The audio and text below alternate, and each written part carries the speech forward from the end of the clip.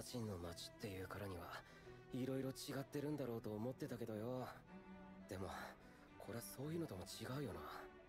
配置が土台ごと変わってしまって都市の体を成していない。何があった？もしかしてレネギス全体が形を変えた影響が内部にまで？あのくさびが降りてきた時か。だからって人が住んでる場所まで動かすことないだろうによ。自分たちの町だろレネギスの民のことなどどうでもよいということなのか。どちらにせよこれでは金領への道もわからないな。ひょっとしてティオハリムか？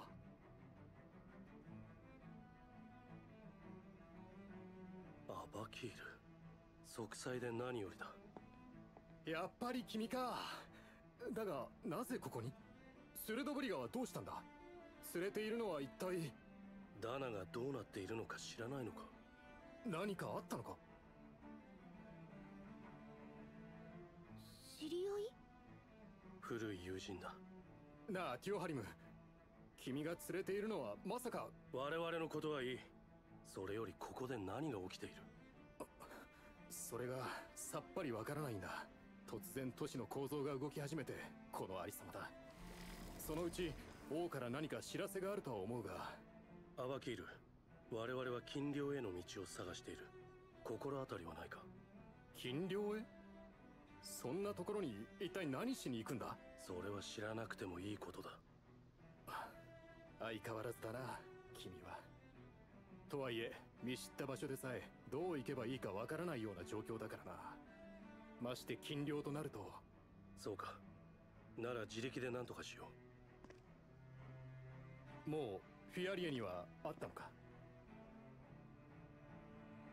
いや。そうか。彼女は変わっていない。いやむしろ。承知している。なぜ戻ってきたんだ？辛いことになるぞ。それも承知している。そういうところもちっとも変わらないな。分かったよ。これ以上は聞かないが気をつけろよティオ。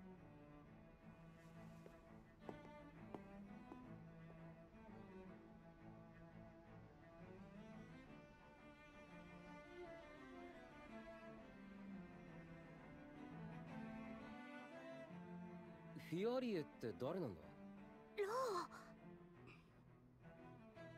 先ほどの話からするとレネギスの住民はダナのことを何も知らされていないようだな。そうね。ここの状況もよく分かってないみたいだった。くさびは間違いなくレネギスから現れたのに。もう少し情報が欲しいな。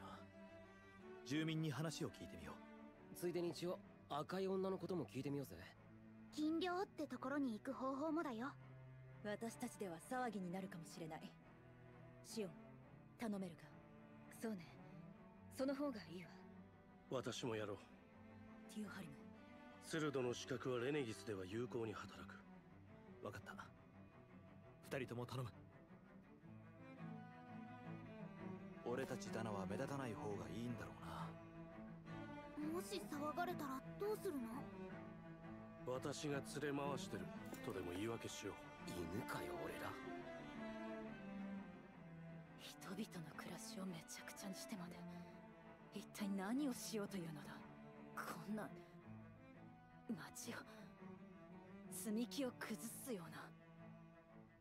これをやった者は何を考えている？ダナからの精霊力を受け止めてレナに送るためではあるんでしょうけど。何のためなんだ一体？スルドブリガのためならそんな必要はなかったはずだ。なんであれくさびが精霊力を送るのを止めたと言っても狙う理由がある限りはこのままでは済むまい。ダメだよ。またあんなことさせちゃう。金領ってとこに行けば何かわかるかもしれないんだろ？ここでグズグズしてないで動こうぜ。ローの言う通りだな。俺たちに立ち止まっている暇はない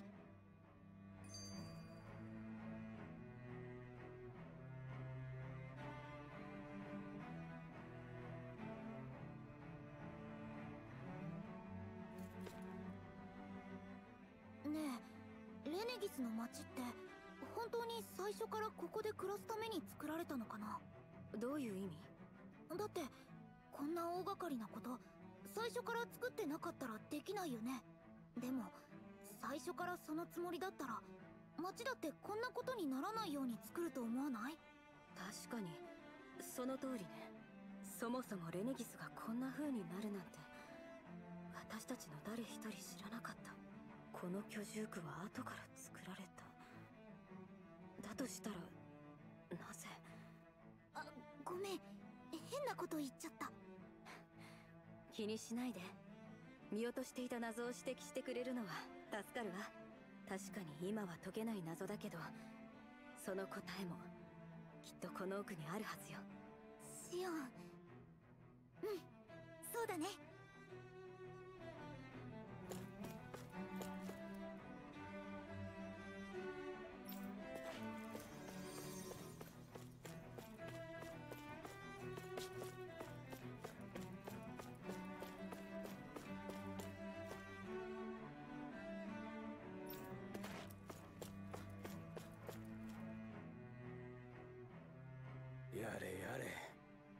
ひどいことになった。死骸はこのありさまズーグルが制御を受け付けなくなったとも聞く。いかなることやら。あなたもどうしてこうなったのか理由を知らないの？うん。事前に何の布告もなかった。知る必要はないという王のご意向なのだろう我々としては受け入れるよりない。おあそれより御身はイルル・ケリスケのティオハリム教ではありませぬか？確かスルドとしてダナにおられるはずだと。いかにもティオハリムだ。多くを語ることは許されていないが特別な任務で戻ってきている全ては王の御心のままに時ならぬ御身のご帰還レネギスの変容いやはや王の辛抱は計り知れませぬ。イルル・ケリスクは多くのスルドを輩出しておられる。こたびのスルドぶりが御身の勝利を記念しております。最善を尽くそう。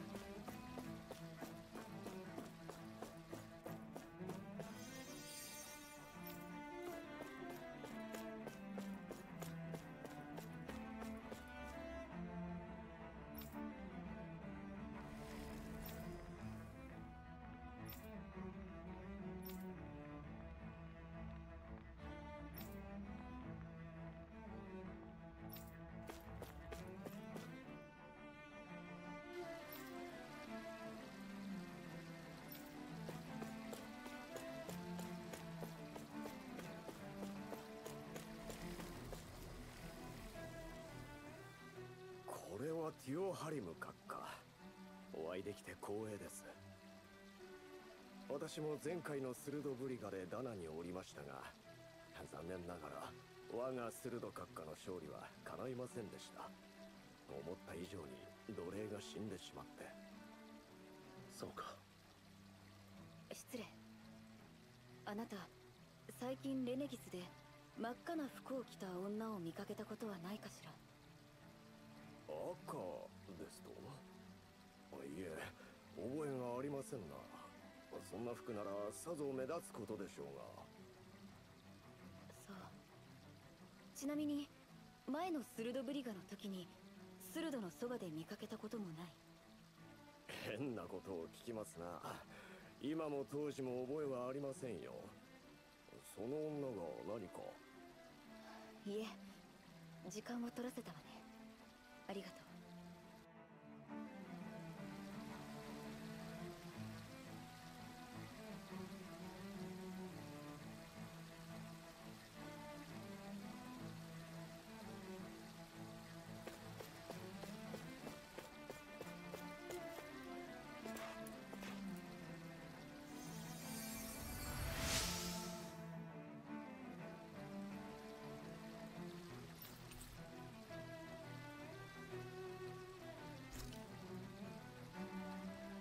これで大丈夫ね私も心得はあるが君には及ばないな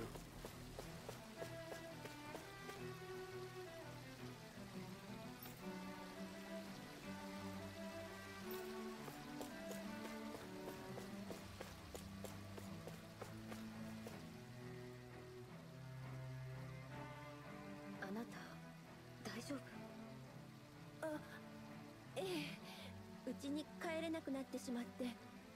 やって帰ったらいいかと考えていたところです。私もここから先に進みたいのに行けなくて困っているわ。全ては王の御心のままにとはいうもののいつまでも仮想民の私がこんな上層民の区画にいたら何を言われるか。気が進まないけどやっぱりあそこに行ってみるしかないかしら。何か心当たりがあるのかね？デュオハリム・イルル・ケリス様。なぜこんなところにスルドブリガの最中では？私のことはいい。それより心当たりがあるなら聞かせてほしい。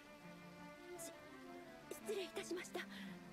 この先にできた壁に入り口のようなものを見つけたのでそこを通り抜ければ別の区画を移動できるかもしれないと思いまして。それは検討の余地がありそうだな私が確かめるから君はここで待っていたまえ。問題なさそうなら改めて知らせよよよろしいのですか？私のような仮想のものに鋭閣下御自らなんて。このような時に上も下もあるまい。本来同じレナの民だ。ありがとうございます。デュオハリム様。いろいろ話を聞いたでどう思うやはりなぜ町がこうなったのかも。ダナでスルドブリガがどうなったのかも知らないよ。スルドブリガの情報ってこっちには全然入ってこないものなのか？以前であればここまでではなかった。何か統制が敷かれているのかもしれない住んでるところがこんなことになってるのに。みんなやけに落ち着いてるよね。なあ。ズーグルが言うこと聞かなくなってるとも言ってたしな本当なら一大事のはずだぜ。ここで起きることは全て王の意志によるもの。レネギスではそういう考え方が深く根付いているからな。全ては起こるべくして起こる。王の統治によって。王の統治。一つ気になったのですが今レネギスを全ているのは誰なのですか？無論東大の王だ。王がレナからレナとレネギスの両方を全て。いる間にスルドみたいなのもいないのか？レナってダナと同じくらいでかいんだろ？レネギスだけでもこんなに広いのに全部一人で収めるなんてそんなことできるのか？言われてみればそうだな。気にかけたこともなかった。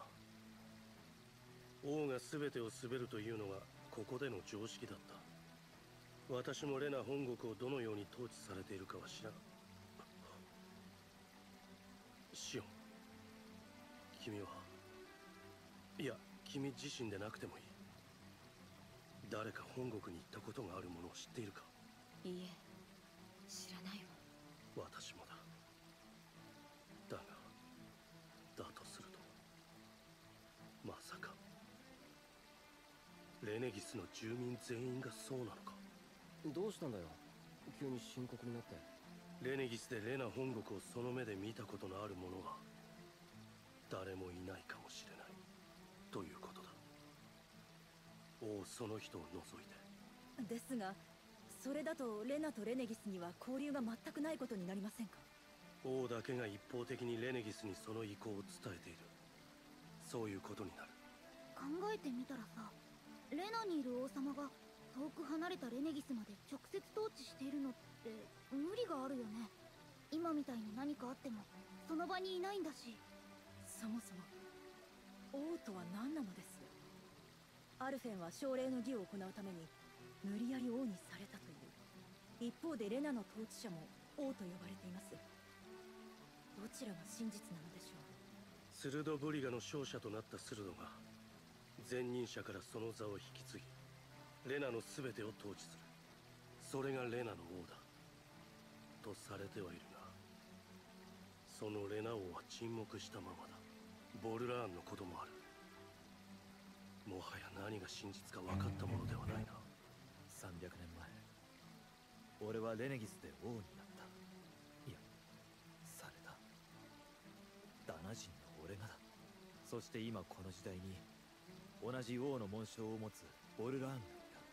俺たちに共通するのはどちらもスルドブリガに勝つことなく王になったということだ。ボルラーンはアルフェンと同じ儀式のための王ってことか。わからない。だがありえない話じゃないと思う。つまり統治者としての王と儀式のための王がそれぞれ存在していることになるのだが確かにガナスハロスでボルラーンの死体は見つかっていない。レネギスがこうなったのもボルラーンがここで儀式を行ったからだとして。待ってよそれって赤い女とボルラーンが仲間だってこと？だって儀式には赤い女が持って逃げたレナスアルマが必要なんでしょ？儀式には巫女も必要なはずよ。私の他にも巫女がいるのでない限り。疑問疑問また疑問だ。この状況を解決するには王の正体を見極めるよりないようだな。王だけが入れるという禁漁なら何かつかめるかもしれないダナを救うためにも真相を暴くんだ。ええ行きましょう。金領へ。確か別の区画へ通じてるかもしれない入り口があるって話だったよね。そこから金領にも行けるかもしれない。探してみようよ。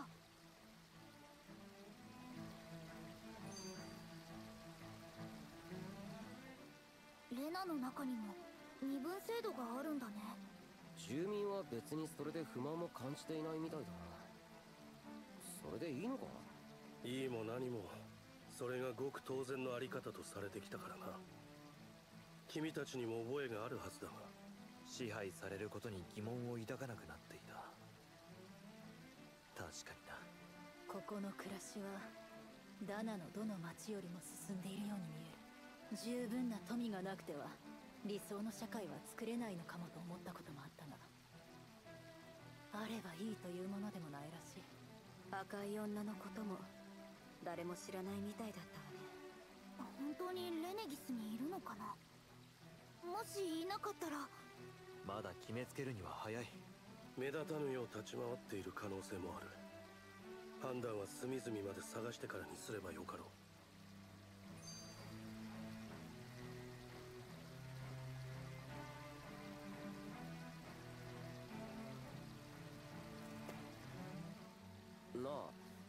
ティオハリムのあれってどういう技なんだ？あれでは分からんな。どの技のことかね。あなんか街中とかでさ話しかけた相手が隙だらけになることがあるだろ？何のことか分かりかねるが。あれはたらし技というんだ。自分の外見や声の質を最大限に生かして相手の心を縛る特殊な技だ。人聞きの悪いことを言う。私ではなく受け取る側の問題だろうに。あでもやっぱり何かあるんだな。どうやったら使えるようになるんだ？俺も気になるな。何か特別な修行があるのか？そうだな。常に優雅であることを心がけ後ろ向きな考えを持ちながらうんちくを語るあたりが初歩だろう。言いたいことがあるなら直接言ってはどうかな？感心しているだけですよ。他意はありません。